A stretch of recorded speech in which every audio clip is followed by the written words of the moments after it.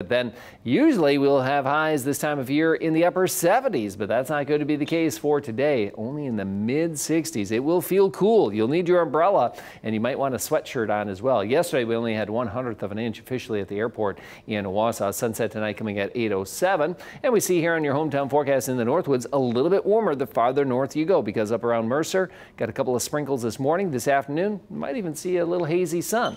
Uh, Irma though a little bit more rainfall today with a high of 66 and definitely a steady rain, cool day, uh, kind of a dreary day in the southern part of the area. 64 in Wisconsin Rapids, only 63 in Arkdale. And our future track does show the heavier rain here uh, around Wausau and farther south this morning.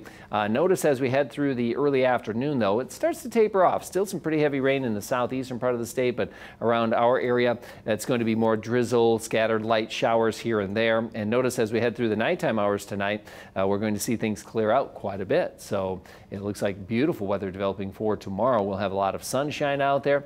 And same thing on Wednesday, good amount of sunshine. And the next chance of rain will be Wednesday night. There's a cold front coming in from the northwest here uh, that will sweep across our area. And that might produce a couple of scattered thunderstorms. So here's your seven day outlook. The cool and wet day is today, and most of that rain will fall this morning. And then sunshine for tomorrow, high of 78, a great day to get outside. Windy and warm on Wednesday, a high of 85, so well above normal. Chance for a couple of thunderstorms Wednesday night, and then another cooler day, a little bit cooler and breezy on Thursday, but a warm trend, a very summer-like trend as we head into the weekend. Look at this, 91 on Saturday and 90 on Sunday.